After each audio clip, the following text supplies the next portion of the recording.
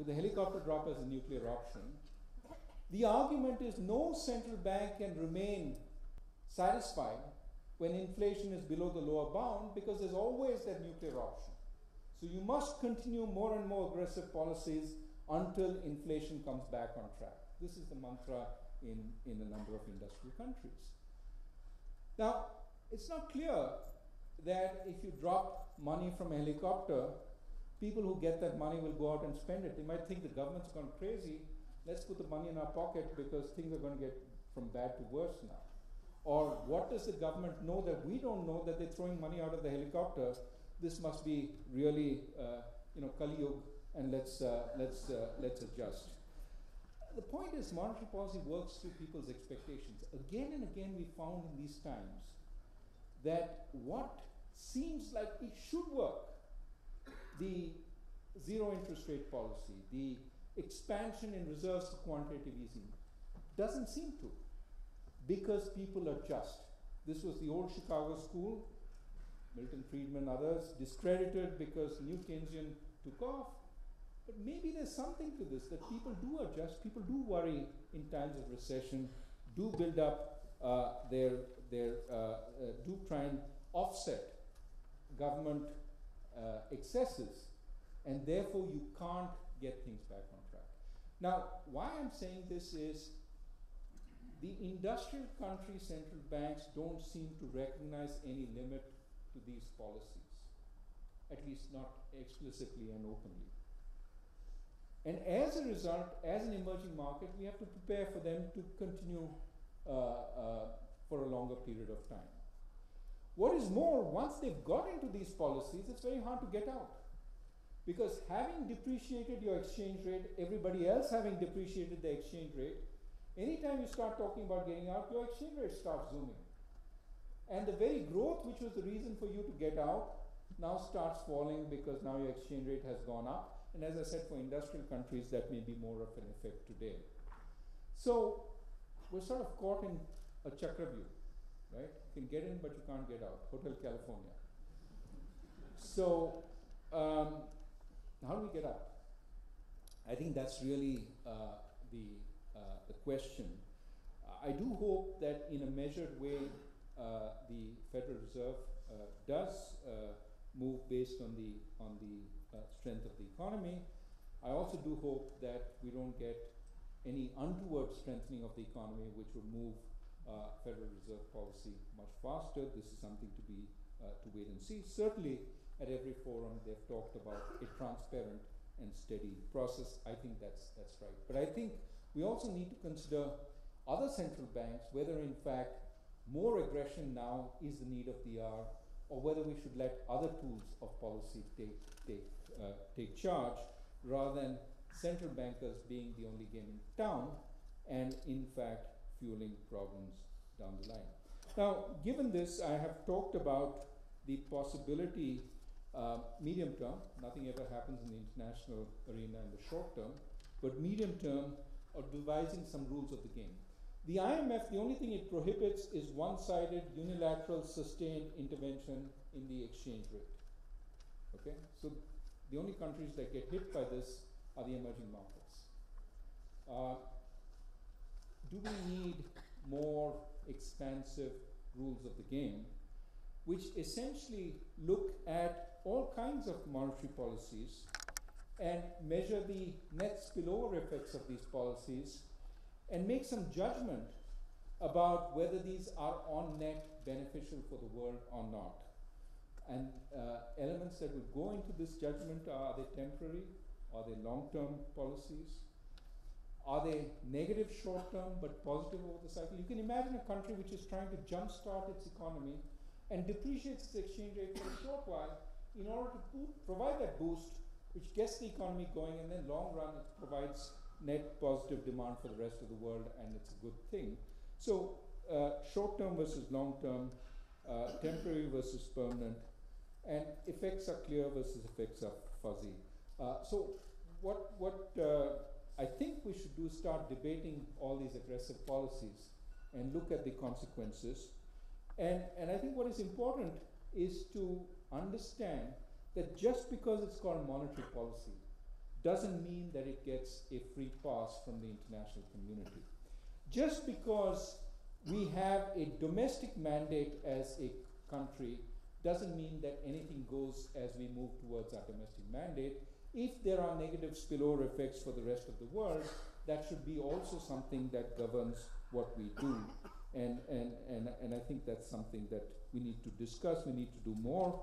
Uh, it's something that certainly uh, we've been, uh, I've been trying to push. Um, now, if we had such a discussion, what form would it take?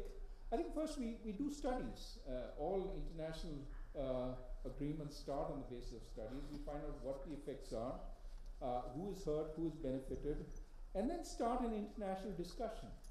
Are these policies good ones or on net problematic?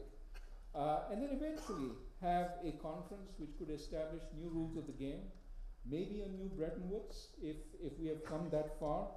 Um, and eventually, after much discussion, uh, much analysis, perhaps uh, central banks could revise their mandates and have an international component in their mandate. I won't do things only because it benefits my country.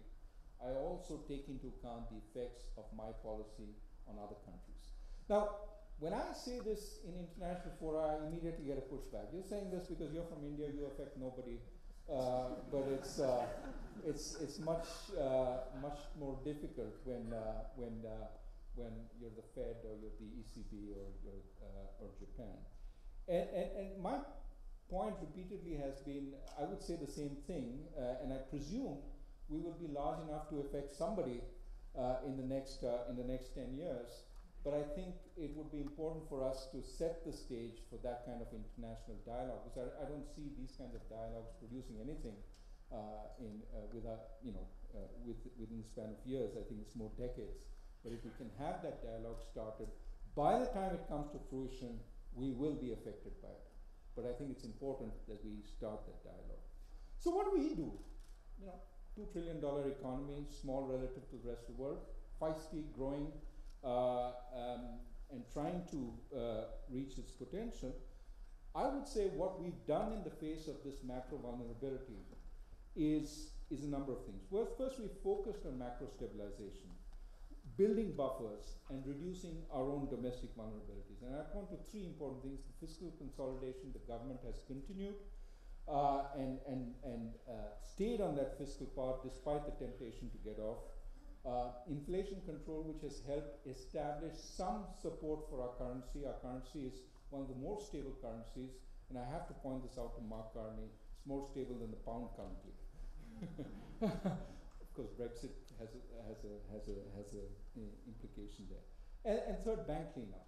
We need to clean up the banks, and, uh, and we are in the process of cleaning up the banks. But I think if we continue on this path, uh, we have established relative macro stability, and in a, a difficult world, uh, we, we look different. Uh, second, wherever possible, we undertake macro reforms. And if macro reforms are not possible, move the needle on micro reforms. Do things that nobody's looking at that don't attract opposition. Of course, on the macro reforms, the biggest thing on the plate is GST, and um, uh, I think there's a lot of hope that it will happen.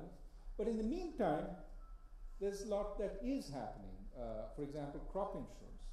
Uh, widespread crop insurance, uh, which is reliable, which comes quickly, is paid quickly, and is based on adequate measurement of losses, uh, which is what the government uh, uh, is, is trying to implement, will help tremendously in providing a floor for our farmers, but also provide adequate diversification of crops, movement towards crops that we need, rather than crops that are relatively safe. And, and that I think would be very important. Another form of micro reform, the Rajasthan government recently talked about land titling. I think this is an extremely important reform because land is the single biggest capital asset in emerging markets. If you can have appropriate land titling, the ability to borrow against that land increases tremendously. The rapidity of use of that land increases. We need that land titling not just in Rajasthan, not just in Karnataka, but across the country. We need to do that. And of course, we're proceeding uh, in a steady pace on financial sector reforms. I, I mentioned these. I don't want to go into a long dialogue on the reforms that are taking place. There are many that I haven't mentioned. But the point is that there is a lot of good happening, even if you don't look at the headline reform, such as GST. The bankruptcy code passed in, uh, in Parliament, um, in, in the lower house. Uh, there have been a bunch of other things that are happening. The, the bottom line is that good policy is the first line of defense against an uncertain global economy. And uh, after two droughts and a very weak global economy, the fact that we're doing reasonably well, I think, is testament to the fact that a substantial amount of good policy has gone in. Second, to limit external vulnerabilities, we have controlled inflows. That doesn't mean we have stopped inflows, but we control them in, in some places, not, not in all. Our equity markets are open. Problem comes with debt markets, especially short-term debt markets, where uh, you know the um, speculative element wants to sit in overnight money and uh, move at the first sign of trouble. We got into trouble with short-term debt in, in, in the summer of 2013. Since then, we've done two things.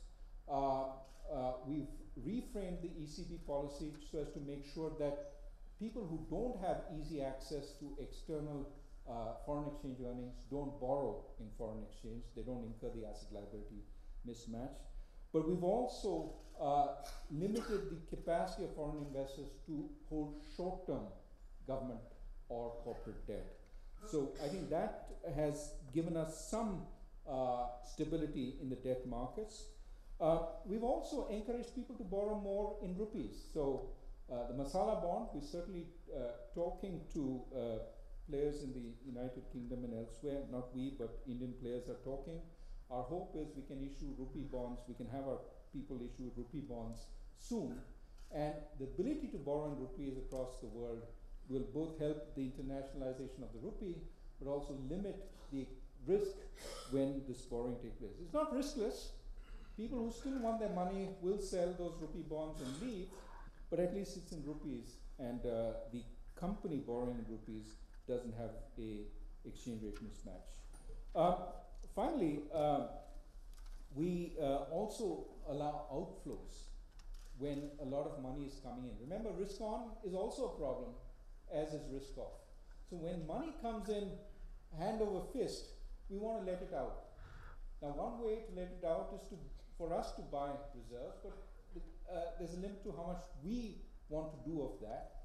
Instead, another way to let it out is to let our private parties take the money out. So the LRS scheme by which they can take money out by investing in, in securities or spending for their kids' education and so on, we've expanded that now to $250,000 per person, and I think that's substantial for anybody who wants that money. I have said repeatedly, this is a also has a macroprudential element. If things get tough, this could be reduced. If things get easier over time, I suspect this could be expanded. But the point is, it allows us a safety valve. When money comes in really rapidly, it allows us to send it out without uh, uh, necessarily taking it onto government coffers, which is problematic. And finally, we do intervene in the exchange rate. Now, not in a unidirectional uh, fashion, but really to create sand in the wheels in the process. If a lot of money is flowing in in a big way, which we think is unsustainable, likely to flow out, um, we do buy up the currency that's coming in. And if a lot of money is flowing out in a way which we think is because of global risk off factors and not uh, defined by Indian parameters, uh, we actually sell foreign exchange. And as a result, we typically intervene on both sides of the market. But uh, basically, uh, we are uh, very aware of the possibility that foreign exchange and investor sentiment can have both negative feedback loops as well as positive feedback loops. When it's coming in, our exchange, uh, our stock exchanges are increasing in value, uh, holdings are increasing in value, leverage is going down, everything seems hunky dory, so more money comes in. When it goes out, everything reverses. So these things have lives of their own. What we need to do is try and short circuit the positive feedback loop as well as the negative feedback loop. We sometimes are seen as not cheerleading the economy. The point is, if you're a cheerleader, you get your highs as well as you get very low lows. What we would like is a little more stability because that in the long run is much better for growth than, than ups and downs. So bo bottom line is we're trying not to get seduced by easy foreign capital in an environment where central banks across the world have kept capital very easy and very uh, accessible. But if we succumb to that temptation today, we may pay for it tomorrow. So we want to be much more steady about that process.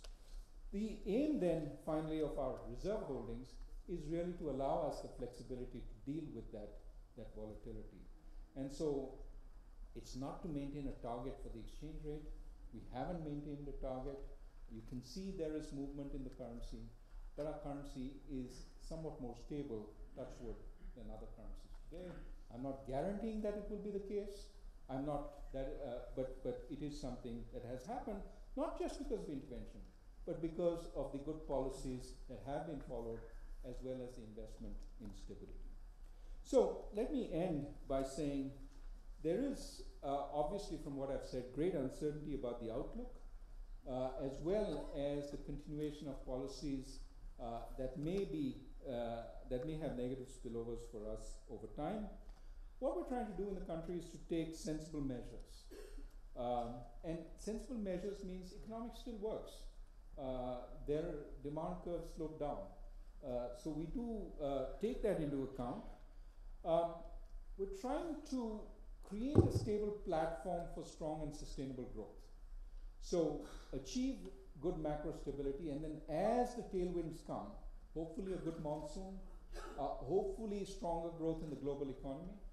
As the tailwinds come, we can move to a higher plane without the fragilities that would otherwise plague us. And for that, we don't really need to know the exact answer to why the world is growing so slowly. Uh, we certainly have plenty of domestic demand we can tap. We can essentially uh, uh, make in India. Uh, we can make India, and if the world cooperates for India, uh, for, for the world, but if the world doesn't cooperate, we can make in India for India, and that will be something that will help us over time until the world gets better. Let me stop there. Thank you.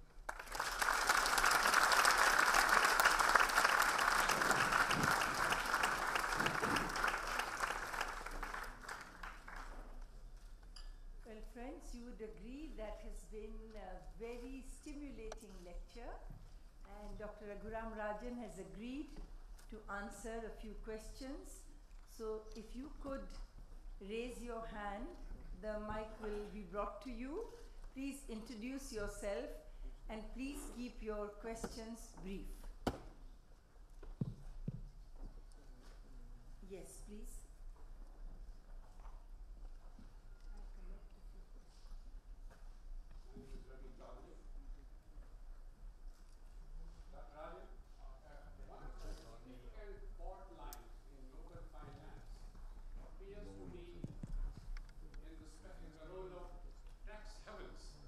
all over the world. And not only per se standalone tax havens, but also tax haven structures within many developed countries. In fact, it's become easy for people in many parts of the world to legally transport money as per the laws of those countries, something which those countries don't permit for their own citizens, they let other citizens come and do there. And what role do you think G20 together can do about it. Thank you.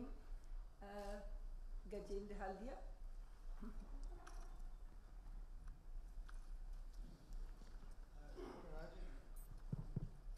begin by saying that uh, I'm one of your admirers so far as macro, macro policy and monetary policy uh, is concerned.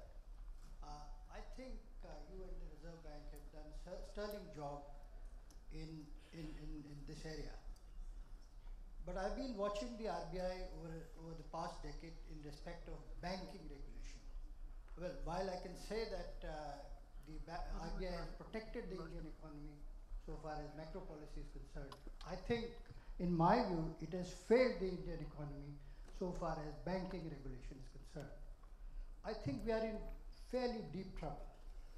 And uh, my own estimate is that the taxpayer will have to pay close to or over 6 lakh crores to save the banks. That's 100 billion US dollars. We all know that the market cap capitalization of uh, public sector banks has completely dried up. A small proportion of what, what it used to be. Uh, I think much of this has happened because of malfeasance, malfeasance, because of lack of accountability.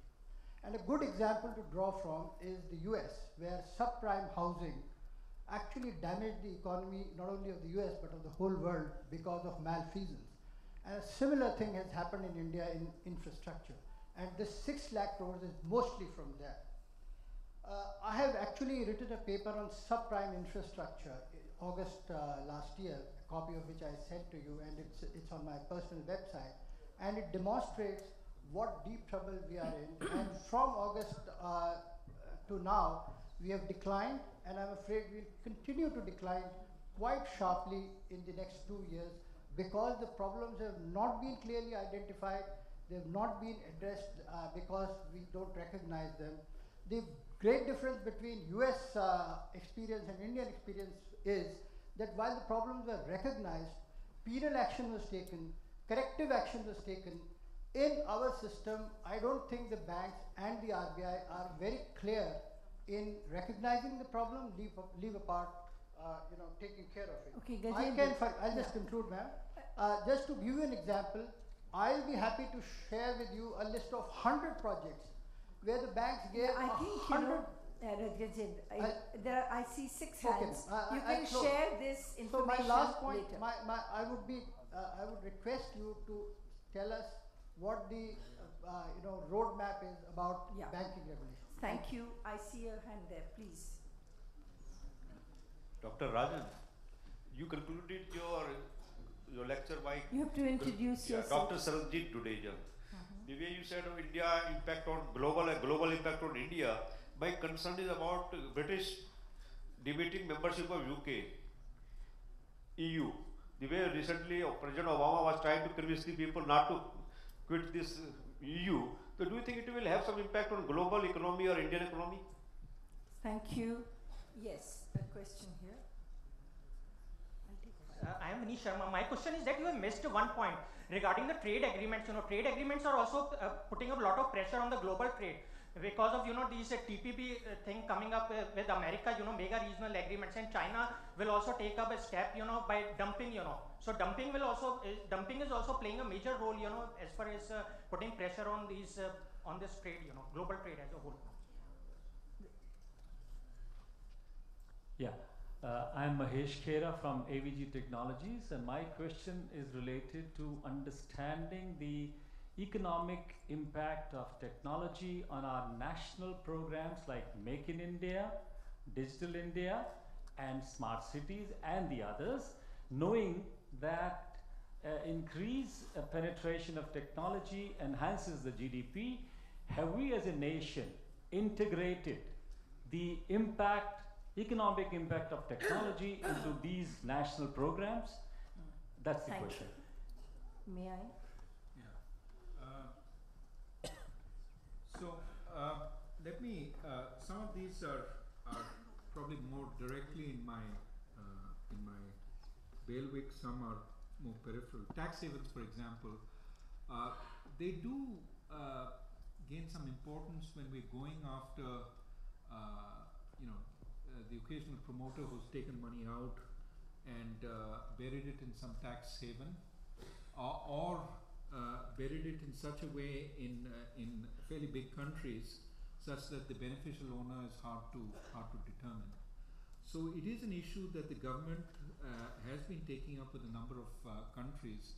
That uh, certainly we would benefit from knowing who the beneficial owner of those luxury flats in those capital cities around the world are, and many of them uh, may in fact. Uh, um, uh, once we know the beneficial owner, may help us recover some of the uh, the money that has gone out. Again, the the quantum of such uh, such assets is is uh, is not clear, uh, uh, and uh, I don't want to say that it's huge without without any additional information. But I think when across the world we are trying to reduce the impact of tax havens and tax avoidance, I think it's incumbent uh, on countries across the world to ensure that final ownership of assets is clear, and uh, if it's foreign final ownership, that the foreign government or foreign entity can get hands on these assets if they were uh, moved illegally. Um, second, uh, on uh, uh, Mr. Haldea's point about the size of the bad debts, I think you're talking about 6 lakh crores in losses as opposed to 6 lakh crores in stressed assets, in losses. I mean, that number is, is probably higher uh, significantly higher than we would put it. Um, of course, I've read your paper, so uh, I know what your perspective is. Uh, but let me put it this way uh, there was uh, undoubtedly some malfeasance in the lending. Uh, but there were also other factors that were involved. Remember 2007, 2008, we're coming from a period when assets have been created that have worked wonderfully well no constraints. Power plants are built in two, three years, uh, and it looks wonderful. They've been built with moderate leverage, uh, and so now that they've built, been built so easily, uh, the promoter says, why don't I go in for more leverage and do two plants rather than one plant, and let me put less equity. In fact, let me borrow my equity. So over optimism, which is which is clearly a factor in country after country in good times, also plays a part. Also remember we get hit by the global financial crisis and then we get hit by a really serious slowdown both in government activity, permissions, etc., but also in uh, normal activity. Uh, people aren't traveling on the roads as much as they used to, or the growth rate has slowed down. So, the precise uh, sort of distinction between what was malfeasance, what was uh, over optimism, and what was just bad luck is, I think, very hard to establish.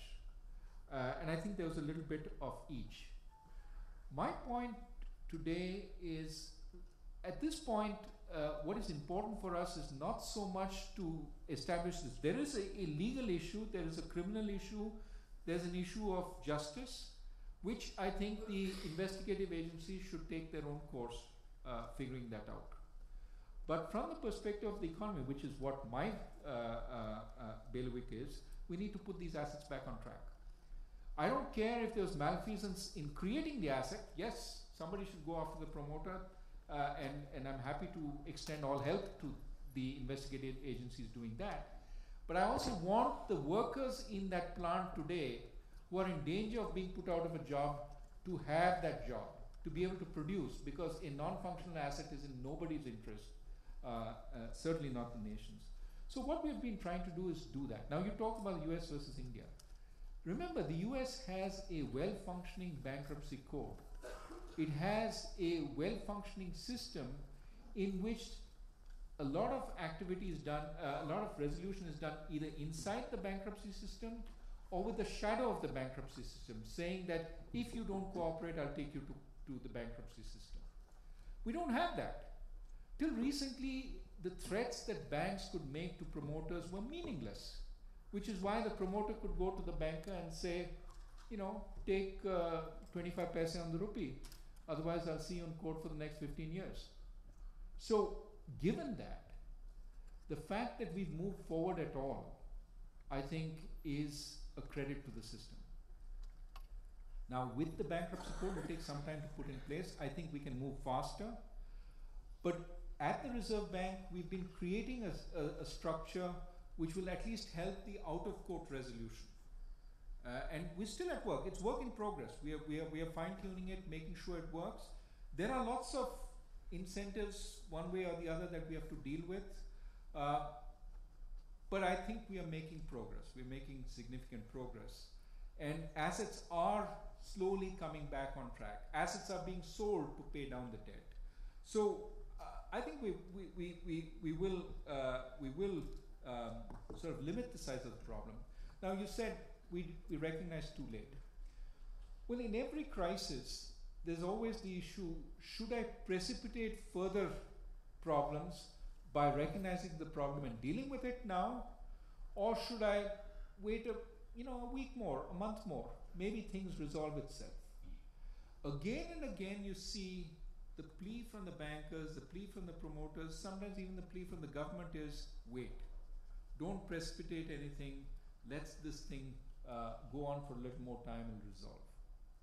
Now, at some point, you have to bite the bullet and say it's not getting better, the industry is not getting better, the world is not getting better, the economy is going to take time to recover. This problem will explode if we don't deal with it now. And that's why the RBI has been very focused on dealing with the problem. Uh, and, uh, and, uh, and I think we have it contained. I'm, I'm confident we have it contained, uh, and, and we're working on it.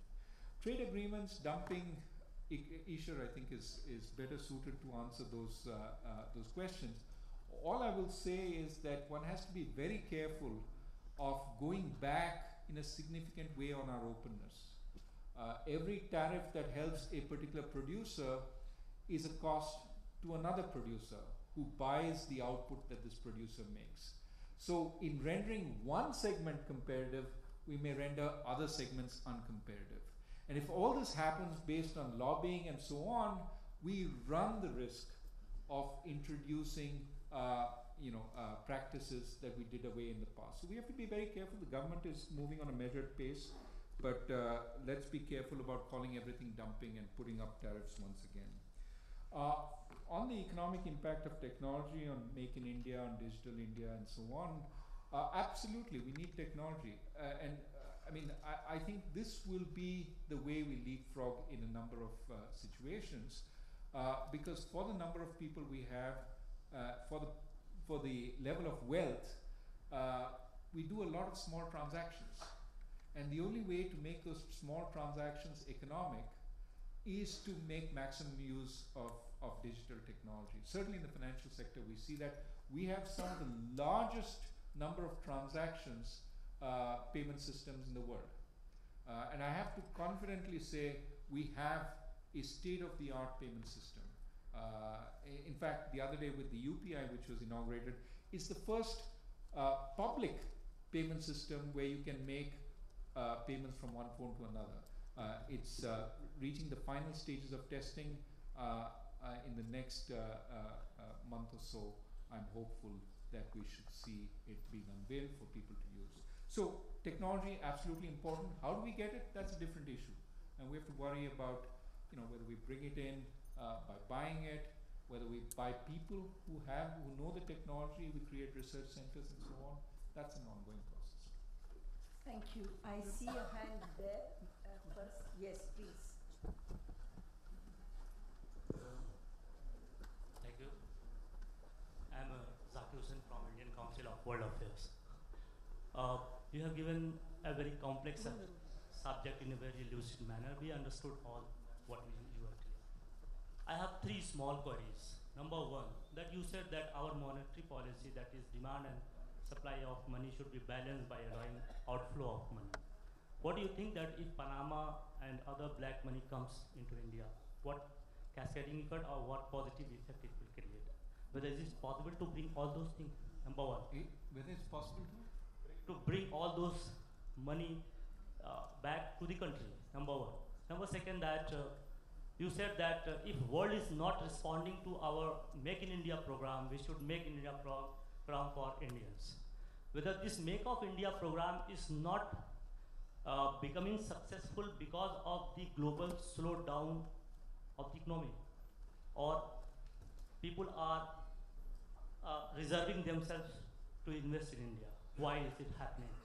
Second, that whether people are have adopted wait and watch policy because of the promises we made to re- undertake. That is land reform, tax reform, labor laws, and many others. Thank you. Thank you. There is a question here. I'm Dr. C.L. K.K. Goyal.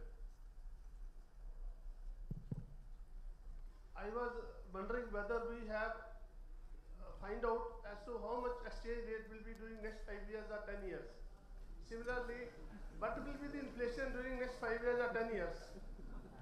Because uh, we calculate, we project, and uh, we don't know whether we are able to achieve that or not because of inflation and uh, foreign exchange fluctuations. And another point is that the time has come, I think, to remove this secrecy clause in the banking system, if possible, so that many people who are genuine, they are saved, and people who are not genuine, they should be, action should be taken against them. Thank you very much. Thank you. There's a question there. at I'll come to you. Uh, evening, slightly less demanding question. Uh, uh, my name is Anmol Sohin. I'm from PwC. You talked about, use the balloon analogy to talk about how pressing uh, regulations on banks and the financial players lead to the creation of a parallel shadow banking economy. Could a potential silver lining for India be innovative disruptors coming out because of that shadow economy? Like with China, where strict regulations led to the birth of Tencent and financial Yuebao sector. Are we looking at the private sector pushing towards innovation and disruption because of the growth of the shadow parallel economy? Thank you.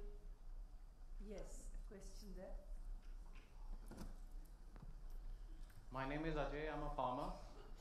And controlling inflation has been one of the main objects of this government and the last government.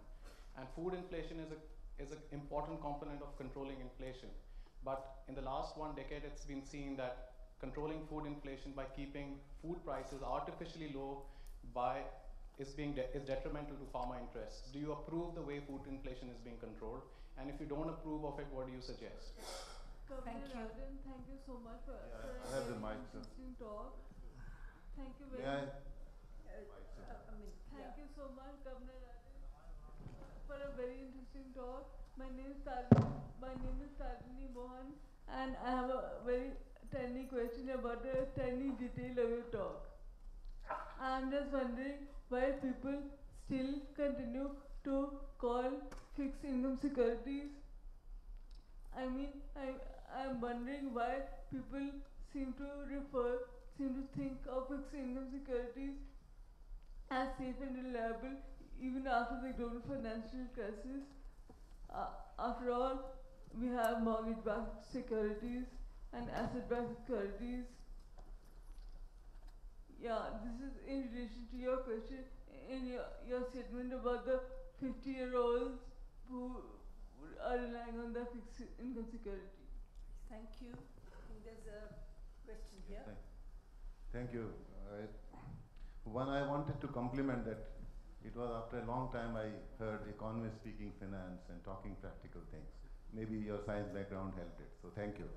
The, and I'm a physicist and I'm trying to understand economics. Will you introduce yourself? My name is Saxena. I used to work in telecom and we did bring about some change in India as far as telecom is concerned. Now the question is one which is a very uh, dumb question, trivial question, saying that in your perception, over what period of time India will become a two-eyed king rather than a one-eyed king? two-eyed king rather than a one-eyed king. One. The other question is, uh, which is very direct, saying that you said in the end the recipe that we should make India for Indians. The question is how much scope it has with the competition from China, where the cost and the regime is very different, so that India, ab initio, may not be able to compete. Thank, Thank you. Thank you. Uh, yes, the young lady there. Um, good evening, sir. Thank you so much for the lecture. So my question relates name? to sorry, I'm Devyani. Uh, my question relates to the taxi hailing services in India, which have come up in a huge way. So we all know that Uber and Ola la- ran into trouble last year with uh, the RBI compliance uh, norms. What kind of uh, problems do you foresee in this sector in the future, and what is going to be RBI's uh, policy measures in the future? Thank you. Okay, another young lady here. Good evening, sir. May I first compliment you on your wonderful lecture, sir? Uh, I'm Dr. Anupama from Amity University.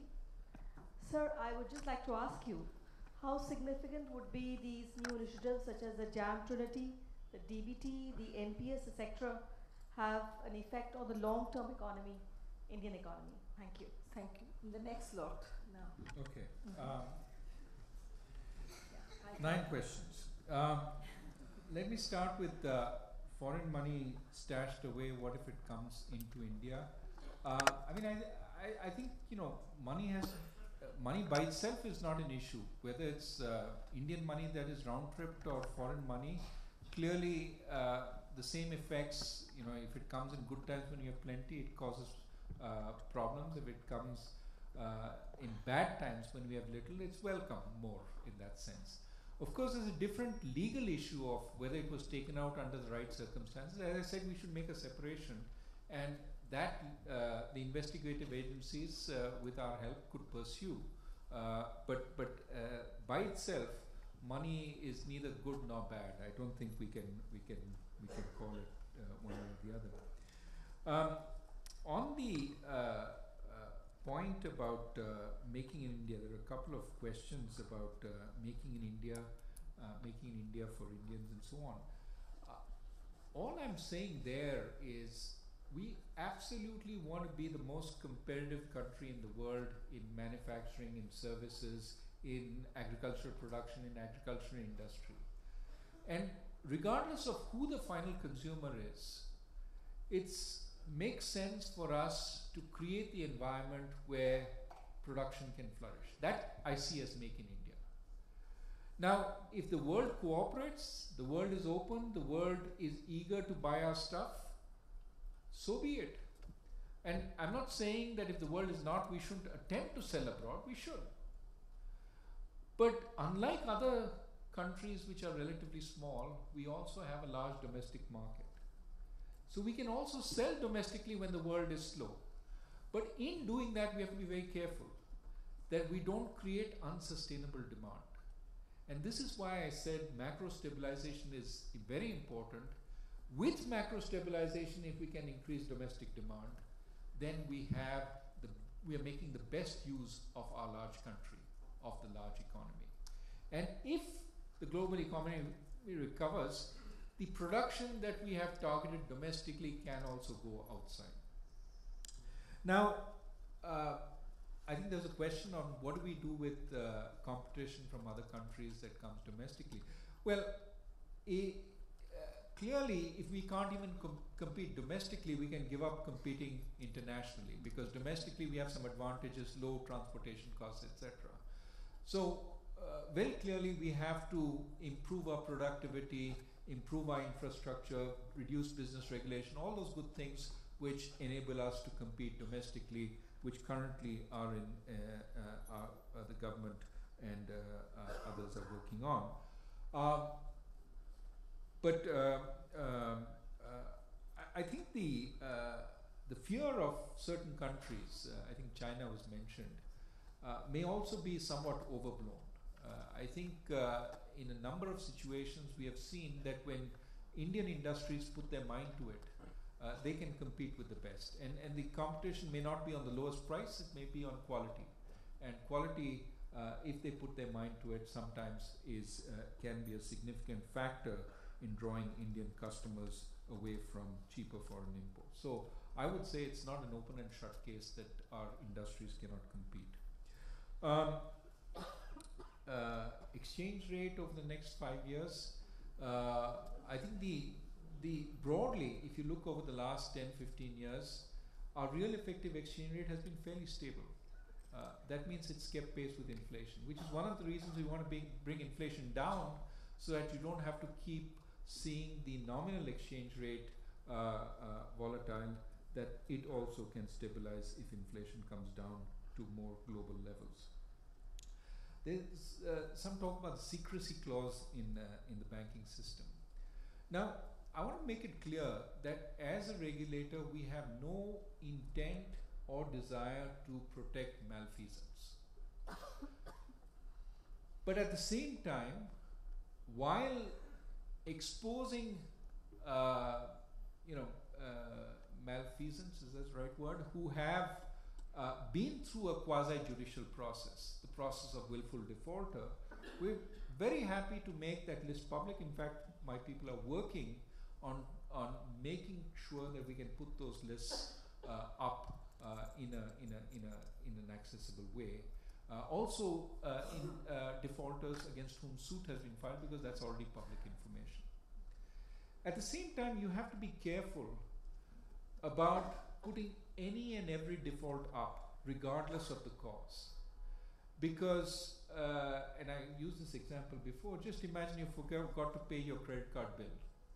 And that uh, sort of detail was flashed to all and sundry, put up on a website. And along with people who were serious defaulters, and there was no detail on what actually happened. Uh, what would you do? You'd tear up your credit card and throw it away because there's a big risk that one day you might forget and be put up for all to name and shame, right? Why take the risk at all? We have to be wary of killing entrepreneurship in this country by putting all, uh, uh, you know, unsuccessful risk taking in the same basket. We need risk taking. We need people to take risks. It's only if, having failed, they misuse the system or they misuse the system on the way to failure by uh, taking money out of the company and so on uh, that we need to we need to go after them in a very big way. We have no intent of protecting those people, but we do want to protect privacy uh, in cases where there is no indication of malfeasance in order to protect entrepreneurship, in order to protect privacy. And that's why I think a blanket uh, edict that we should put everybody's name on the on the website. Again, I would say think of it of yourself as a private person having that happen to you. Uh, you also take loans. Uh, in fact, a credit card is a loan from the bank to you. So you are a borrower from the system.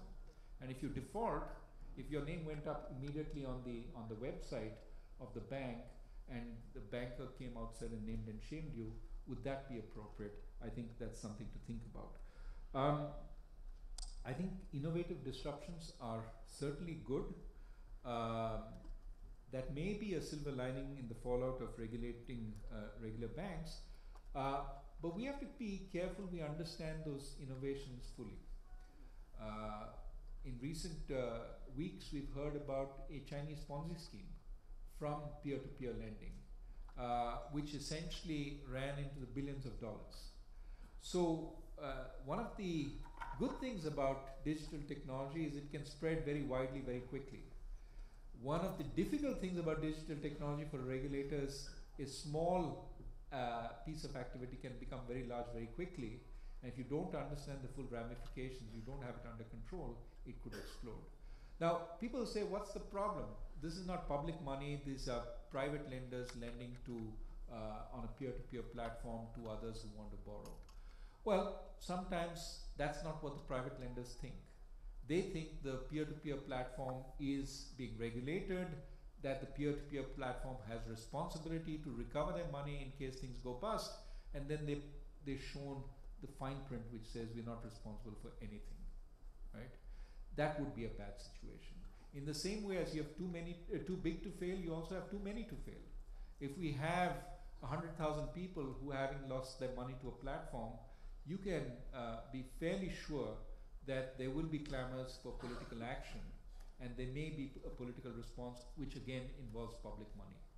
So um, as the regulator of uh, you know last resort in the country when something happens they always come to us and say what were you doing we have a responsibility to make sure that we understand the disruptive innovation I've argued that we're, we can look at it and watch it for a little while when it's small but by the time it becomes big, big, we should have understood it and understood what, what we should regulate.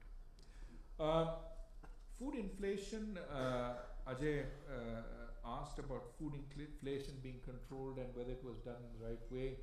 Uh, my sense is that uh, what we need to do is work on increasing agricultural productivity, something I think you, you agree with.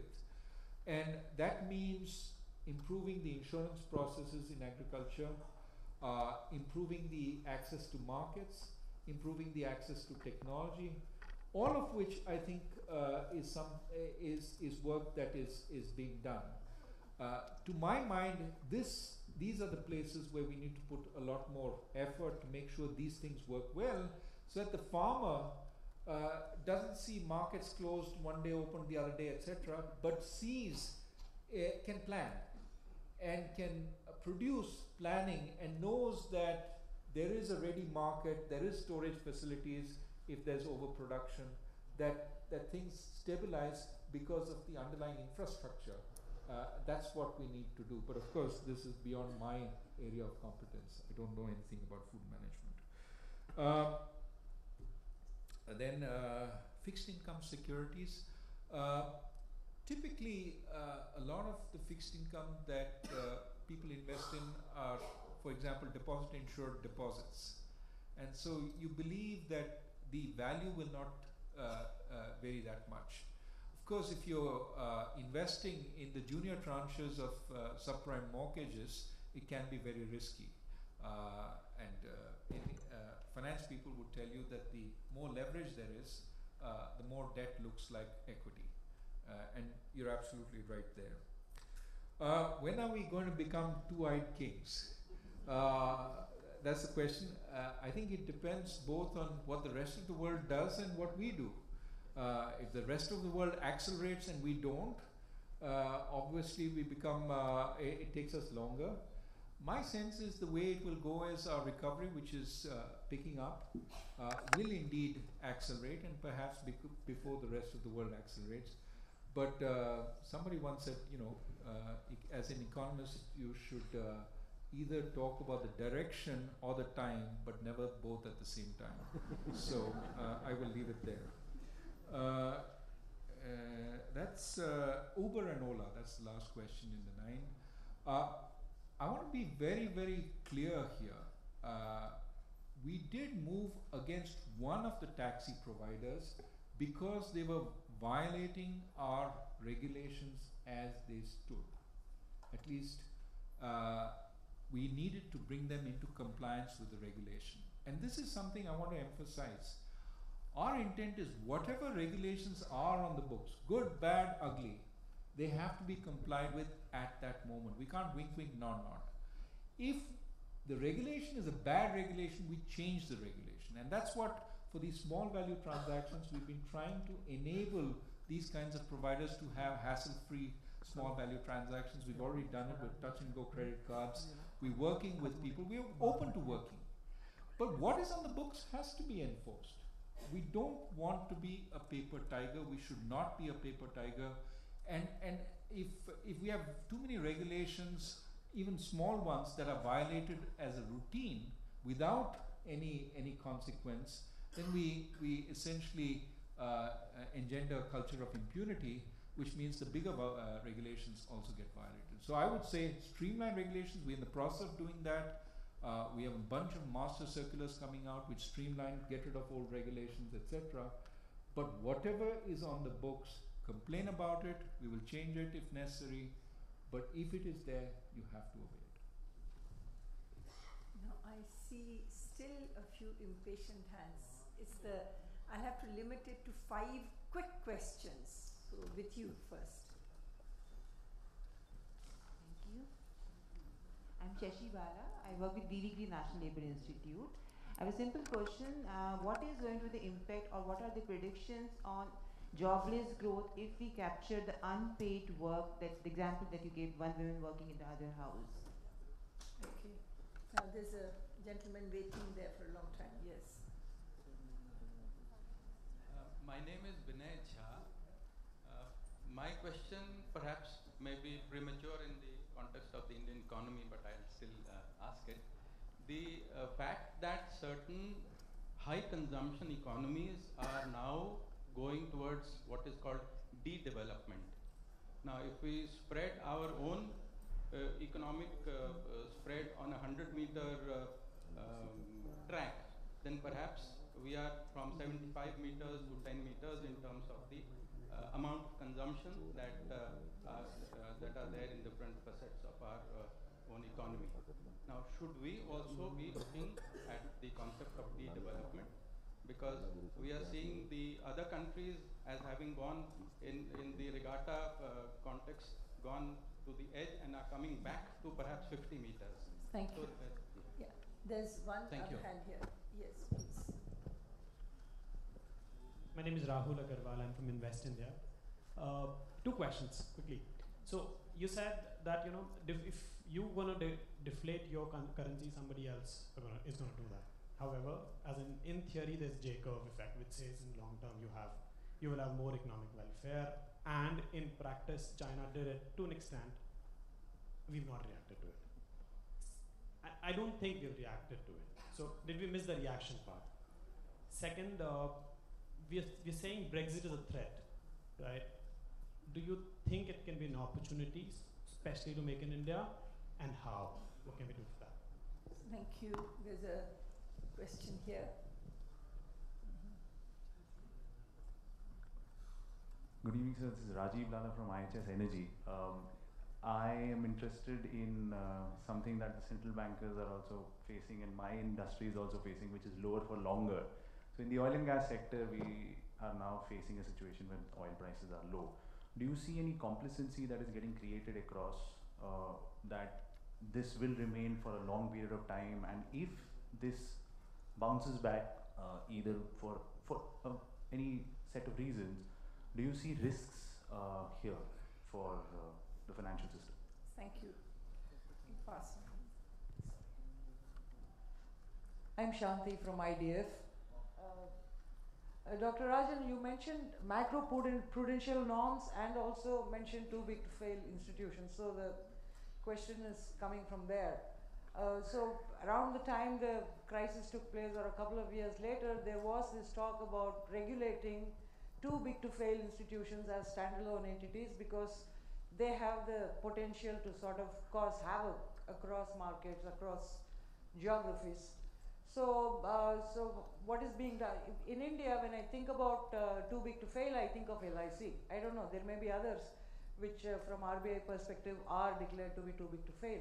But are we sort of looking at them and uh, looking at their operations more closely, so to say? Thank you. Thank you. I think I'm afraid I'm going to have to close it at this point. Uh, is there a? Oh yes, please go ahead. Thank you. My name is Pierre Jacquet from the Global Development Network. Uh, two brief questions. One uh, question by uh, a foreigner looking at, uh, at India.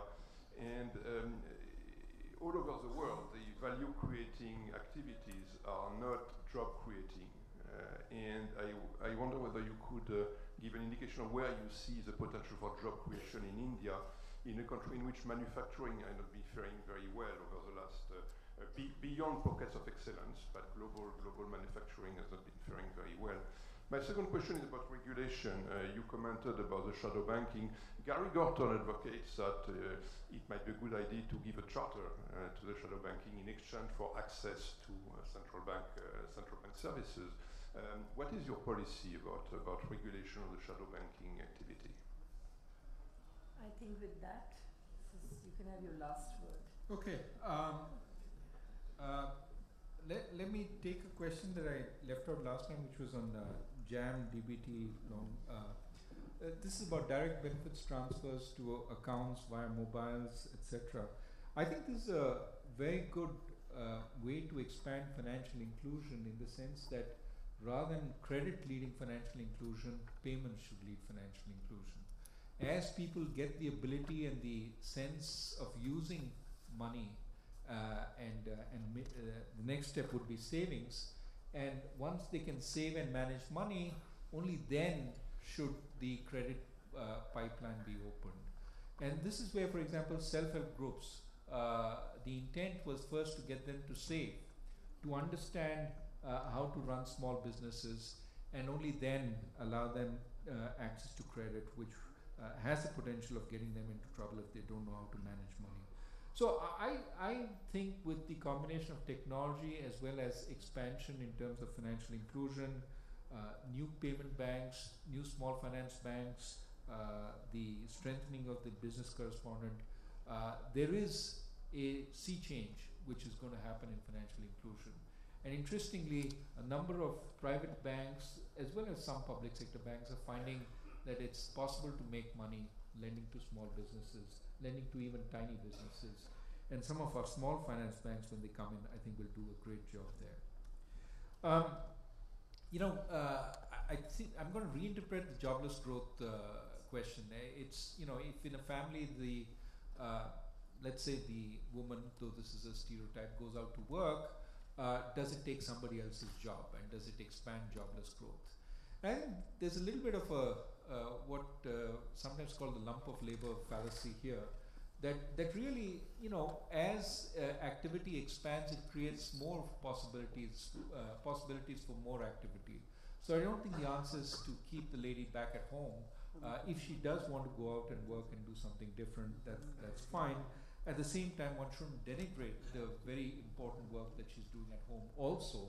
And I think we should allow an environment where she can make an intelligent choice. Um, this uh, concept of de-development, uh, I, I haven't uh, paid a lot of attention to it, uh, not because it's not interesting, but I'm guessing what it means is that uh, you know you you don't grow as fast, you shut down certain kinds of activities. Uh, I do think that there is room to think about what intelligent development should be. Uh, do we all need to consume as much? I think uh, Yashwant Sinha once asked this. Do we need, if we all consumed as much as the average suburban American household, uh, the world would become unsustainable. Yes, that would certainly be the case if we did that today. Perhaps over time we will learn how to have sustainable consumption. But there is a very real question of how much consumption is enough. And I think of intelligent development as both producing in a more intelligent way so that we don't spoil the environment, we don't create bans, uh, as well as consuming in a more intelligent way. And this is something that I thought was missing in Al Gore's uh, Inconvenient Truth. Uh, talked a lot about uh, the way we were spoiling without ever talking about trying to consume in a more effective and intelligent way. We need to do both. Um, uh, reaction, I've written reaction to China. Uh, I'm not sure what, what I meant, what the question was. So, uh, what? Oh yeah, uh, that we didn't react to China when it depreciated your, uh, its exchange rate. You know, my my uh, conviction is that depreciating your exchange rate as a strategy for growth, and I, I see Surjit standing next to you, uh, sitting next to you, but depreciating your exchange rate as a strategy to growth is uh, uh, is in the long term has its own problems, and I think we've seen that with Japan, we've seen that with uh, uh, with China. It may create an environment where industries don't change because they benefit from the protection of the exchange rate, and as, as such, when you remove that protection, may suddenly become uncompetitive and that's certainly is something to worry about. Um, uh, on the issue of Brexit, uh, I, I, don't want to say something which uh, enters into that debate, especially because I'm going to the UK next week. Uh, uh, all I will say is, in general terms, any misfortune to another country is rarely in this interconnected world an opportunity, an unmitigated opportunity uh, for us. Uh, we're always, the global economy is diminished when another country goes down. Yes, there may be some industries where you, you can get, get an advantage, uh, but in general, other people's misfortunes aren't uh, uh, on net uh, a benefit. we are too interconnected for that to happen. And I think on net, it typically is adverse. Uh, oil prices being low for long is certainly a source uh, of potential complacency, but I think that there are two, uh, certainly in the Indian case, two uh, mitigating buffers. One is, of course, that the government has increased excise taxes even as the oil price has fallen. So there is a, it hasn't passed through everything. And so as a result, we are not as vulnerable if, if things, if prices go up again. Uh, course, I'm not making any statement about what the government does if the prices go up. Uh, but the second is we've also got stronger foreign exchange buffers, uh, and uh, and to that extent, uh, we're better prepared if in fact they they go up. I think ultimately, uh, energy security means we have to have access to oil, you know, within the land access to energy. And so I think both the moves on renewable energy as well as the moves on increasing exploration are extremely important and valuable. Uh, too big to fail? Yes, we have systemically important institutions in the country, and we have an interregulatory process uh, to monitor large conglomerates and to make sure we understand what their, their risks are. And uh, the uh, FSDC, uh, which brings together all the regulators uh, together with the finance minister, is a place where we do monitor potential risks from large entities. So uh, we are certainly looking at that. The resolution agency, when it actually is fully fleshed out, will help also in making us more confident we can resolve uh, complex institutions. At some point, uh, we will have to start talking about living wills and so on for these institutions. Um, yes, the world is moving with technology uh, uh, leaps and bounds where not all value creating activities are job creating. A lot more use of capital, a lot more use of intellectual property. Uh, uh, that's true. Uh, as a, a, you know, if you, if you are a, an economic optimist and you believe in the power of ingenuity, uh, you know that this cannot be a bad thing.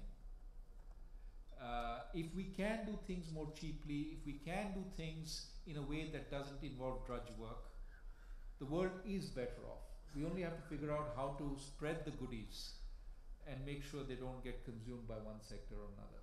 So I think almost surely technological development at the worst can mean a problem of distribution, but certainly cannot make us worse off.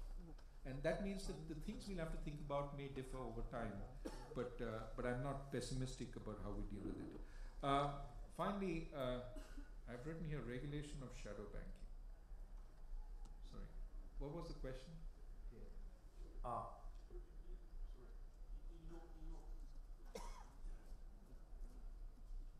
In, in your talk, you mentioned that the shadow banking institution didn't have access to the central bank window. Yes. In a paper a few years ago, Gary Gorton uh, worked on the role of the shadow banking uh, in the crisis, and he ends the paper by arguing that maybe one should recognize the shadow banking as a specific actor with a sort of charter protecting it Right. and giving access in exchange for regulation. I Right. was wondering what your policy with respect to Yeah, regulating shadow banking is. I, I hear you. Uh, well, um, uh, what we have uh, in terms of shadow banking, uh, we have a few players: the mutual funds, the non-bank finance companies, uh, the um, MFIs, the microfinance institutions. And uh, typically, what we do is we don't lend to them directly, but in times of distress, for example, in 2008, uh, we essentially open a window where we refinance banks that lend to them. And the point being that uh, perhaps credit decisions can be better taken by the banks, uh, but we can provide liquidity. And so by lending through the banks, the appropriate liquidity is provided, but they don't have direct access to the windows. Now there are some shadow bank players who have direct access to the window, primary dealers, for example, but they're typically banks. Now, uh, you know, uh, there are there is discussion about some market infrastructure, which again you could, call shadow banks, having access to the window in times of need. Uh, I think it's it's reasonably well established that uh, that we will follow some kind of a Bagehot rule. Uh, we will lend freely at a uh, at an adequate price uh, if in fact there are, there are liquidity difficulties. Now, friends, you will agree this has been a treat. I now request Dr. Kathuria to propose a vote of thanks.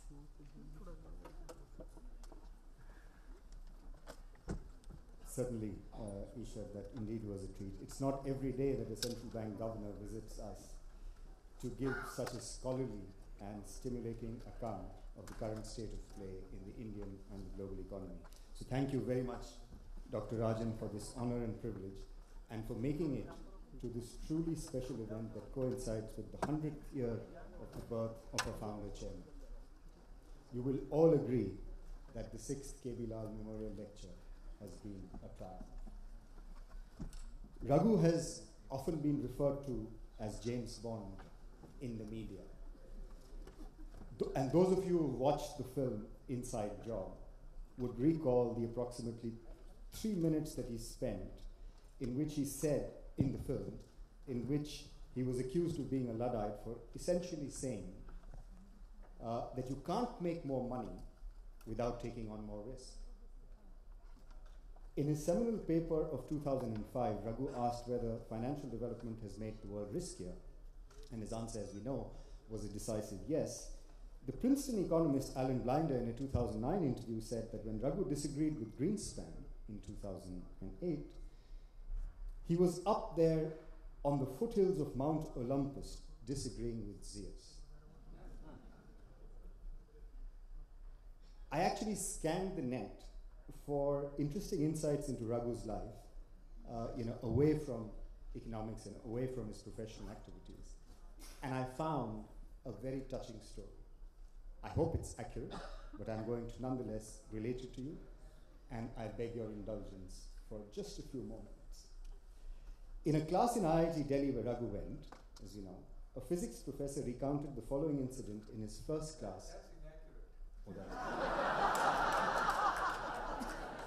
okay. Do you want to hear it? No. I don't remember it. Maybe it happened, I. Well, well, I, I, I, I, I'm torn between my research and Raghu, Raghu's professionalism, so I will uh, uh, pass.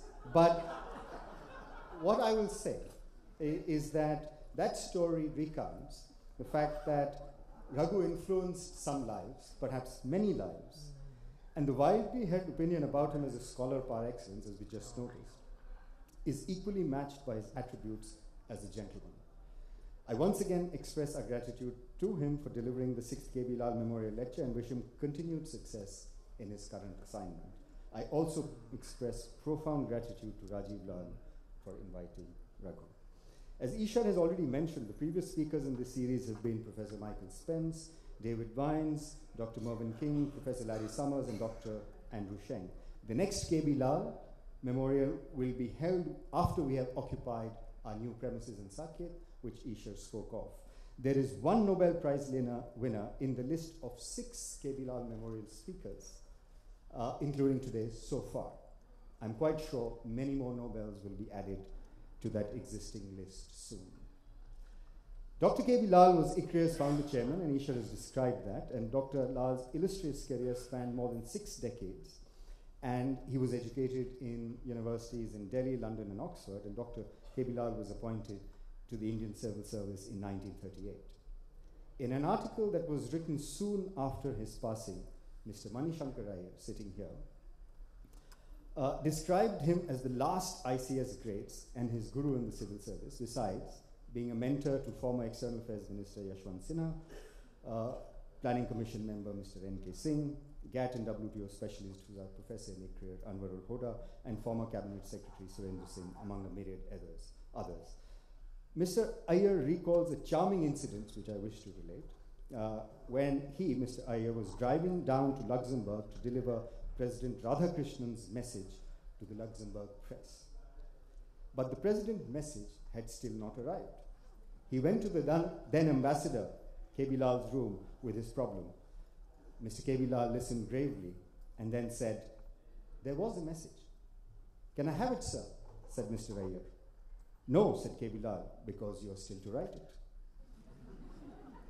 Astonished, Mr. Aiyar said, was at a loss for words and started stuttering, to which Mr. K. B. Lall replied, and this was in Hindi, and I'll translate it. आखिर तुम्हारे jaisa babu hi तो wahan bhi likh raha hoga. To तुम ही After all, some bureaucrat like you in Delhi would be writing it there. Instead, why don't you write it? Dr. Lall was convinced uh, that India had to make the transition from being an excessively inward-oriented economy, as Isher has also pointed out, and this required preparation and changes in domestic policy. And ICRIER, as you know, has been established to enhance the kind of evidence basis for informed policy making. And Dr. Lall set up ICRIER for this very purpose, and we are extremely proud in ICRIER to carry this legacy forward. In the flyer that has been distributed to you today, you will read that ICRIER is today ranked as one of the top think tanks in the world. Of the 80 members of Dr. K. B. Lall's, thank you. of the 80 members of Dr. K. B. Lall's family, around 50, I'm told, that is about 60%, are present here today. All his children, Vinu Shah, Ashok Lall, Ranjana Pandey, and Rajiv Lall, are present. As you know, and as Raghu mentioned as well, Rajiv is in the process of writing history with his new IDFC Bank. Five out of nine grandchildren, one from the US and another from Dubai, are here, and two of his great grandchildren are also here. Wherever he is, Dr. Lall must be feeling very proud of his creations. A special thank you to the entire KB Lall family.